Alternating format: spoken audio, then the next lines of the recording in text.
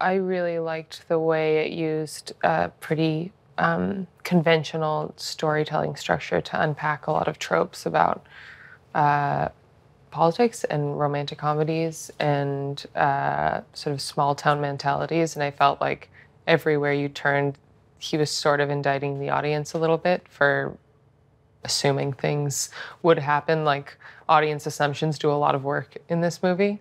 Um, and I just thought it was a really funny, smart way of, of telling the story.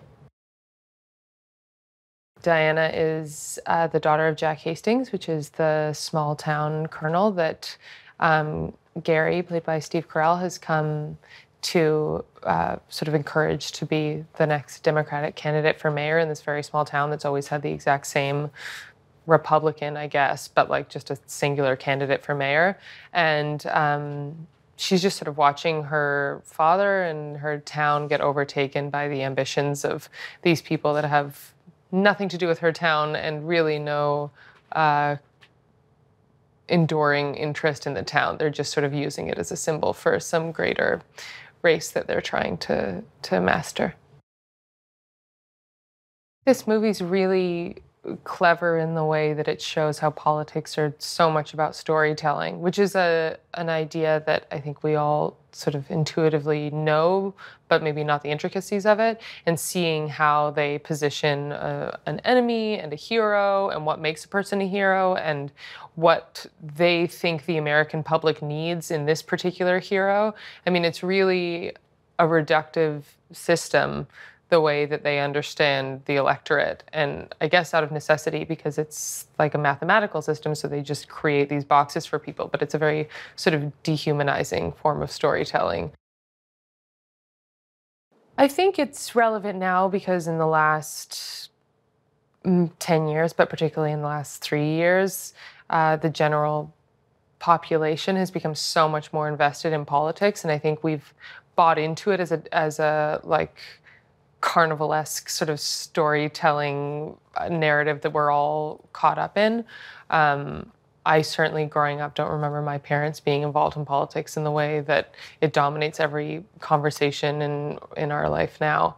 Um, so it feels like a really good opportunity this this period in time to discuss the like internal machinations of a campaign and who gets demonized and who gets valorized the movie begins with this Democratic operative, Steve Carell, who comes to this very small town in Wisconsin to convince this man to run for mayor. Steve Carell, he's such a sort of universally beloved actor, and people feel a really particular thing towards him and such a, a warmth because he's so genuine and so lovely to watch. Um, and seeing him play this kind of like cynical, underhanded guy is such a a treat to exploit all of the goodwill that he's built up in his career. Rose Byrne is such a, an amazing actress and such a funny comedian, and the part she's playing, Faith, is just, it just is one of the great female parts. I think it's so funny and so wonderful, and what she does with it is hilarious.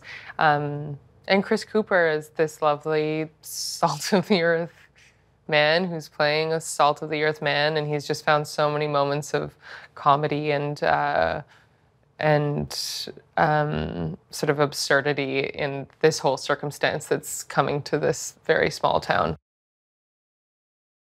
Jon Stewart is one of the loveliest people I've ever worked with. Um, he has such an attention to performance, which is remarkably rare in directors for them not to just be paying attention to the frame and the lighting and creating a beautiful image, but he is like hypersensitive to every single beat of performance, which makes the process of making the movie, not just the finished product, but like the day to day life on set, so um, engaged and active and you feel so sort of challenged and it, it, really creates such a nice environment having somebody who's paying such close attention to what you're doing and, and giving you new ideas every single take. It's really so fun.